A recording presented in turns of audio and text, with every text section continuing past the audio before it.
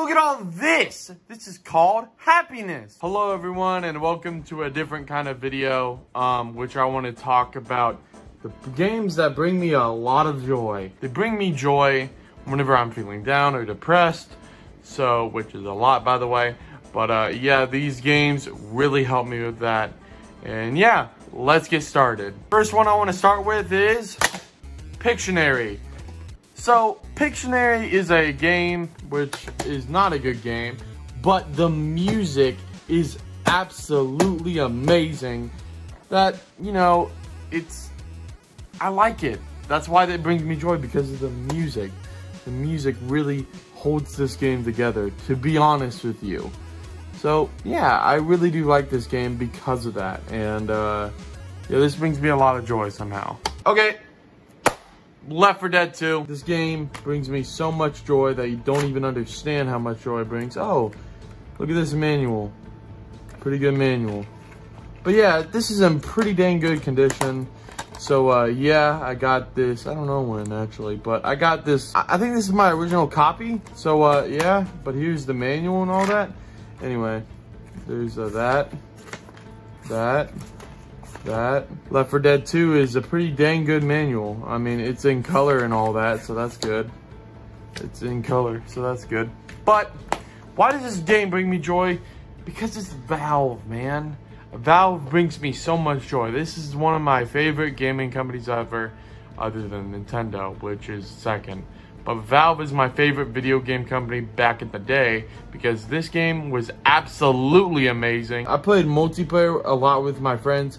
I played this with a lot of my friends and I played this by myself just to beat the game and I really, really enjoy it. So yeah, that's that's why this is in my list of games that bring me joy. New friends, more zombies, better apocalypse.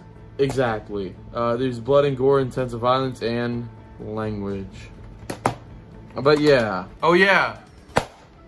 Mario Kart 8 Deluxe. Yeah, this game is not really that old, but listen, this bring me this still brings me joy to be honest with you. Uh, Mario Kart 8 Deluxe is one of the games that I really love a lot. This is my favorite Nintendo Switch game, other than Clubhouse games, 51 Worldwide Classics. But this is my favorite Nintendo Switch game that I play a lot. Uh, this game is my favorite Nintendo Switch game because Listen, the multiplayer is amazing. The tracks are amazing, and the DLC bring bring everyone together and just I don't know. I really love this game. But I remember a distinct memory of mine, me and my friends just playing Mario Kart. This is a very hot take, but Wipeout 3 is one of them. Wipeout 3 is one of the games that brings me joy. Mostly because of nostalgia, but also because it's an actual good game. I played this with my family back in the day, and it's just so amazing that everyone was brought together and playing this. I really, really love this game. I don't even understand why, but hey, there's a manual and it's in black and white, which is bad. Uh, but yeah, there's Wipeout 3 and we, this, is but this is, this is my favorite Wipeout. Out of all of them, even this console platform, this is the best version of Wipeout 3 and the best Wipeout game. So I really enjoy this game a lot uh, because of memories and because of it's an actual good game. I don't understand why you guys hate it so much. Another hot take is Mario Luigi Dream Team. I played this back in the day, and I, I, haven't played this in a while, to be fair with you. I don't have the manual, damn. But uh, yeah, this game, this is the original cartridge I have for it and all that. I and this is the original copy. So Mario Luigi Dream Team is one of my favorite Mario Luigi games. I hope because this new game looks amazing, so I really love this game. But Mario Luigi Dream Team is my favorite Mario Luigi game. Uh, I think Bowser's Inside Story is good, but it's just the problem is it's just it slogs on too long. This game just got straight to the point in my opinion. I know it didn't for some of you because of the tutorial. I didn't really mind the tutorials. That's just me. So I really loved this game.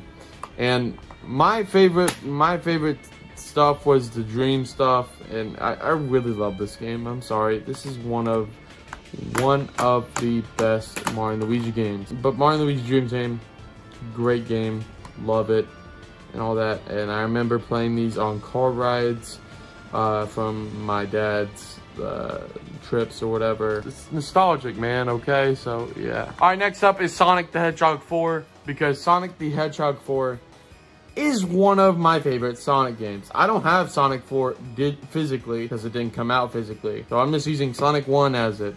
But uh, Sonic 4 is one of my favorite games of all time, to be honest with you. I really love Sonic. Sonic 4 is not my favorite game of all time, but I this is Sonic 4 is one of my favorite Sonic games of all time. So Sonic 4, I know people hate this game to death, but the music, the courses, I I just have a lot of nostalgia and I just really love this game for what it is. I don't love Sonic 1. This uh, I'm using Sonic 1 as a placeholder for Sonic 4. But Sonic 4 is damn good. My favorite one is Sonic 4 Episode 2, because Sonic 4 Episode 1 is okay.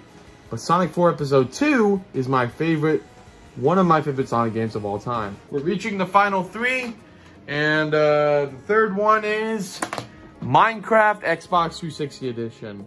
Specifically this version, because I remember this version. I love this version. Uh, do I have the manual? Nope, I do not. But uh, I do have the original disc and all that.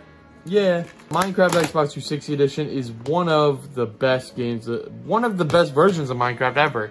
Yeah, it may not have the infinite possibilities, but it has the tutorial world, the maps, the just so much.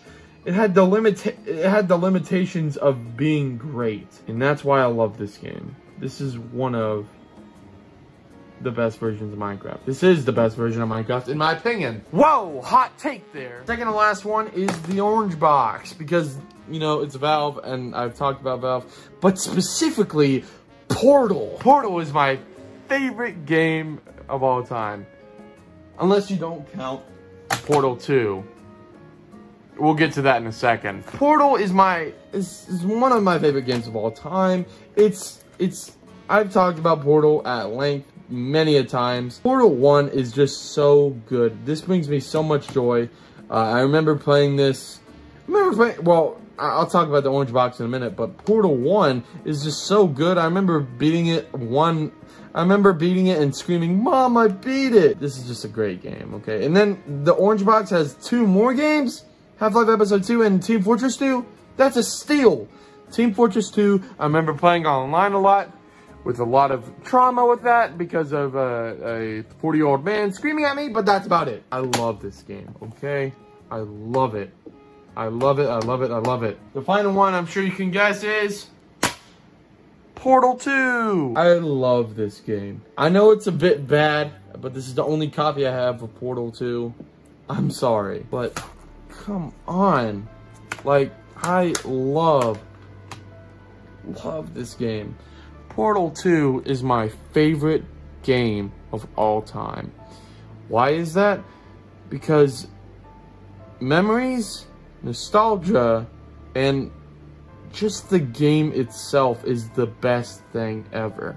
I have beaten this game several fucking times, but I don't care. Back to my childhood, I remember playing this game whenever I was sick with the flu and this game got me through that shit, man. It got me through it. And now, it's just got me through so much more depression-wise and friend-wise because I played this with my friends. Oh yeah, you can play this with friends because it's co-op. So, Portal 2, thank you for being my friend. Thank you guys so much for watching. I know this was kind of a somber video for this week, so uh, yeah.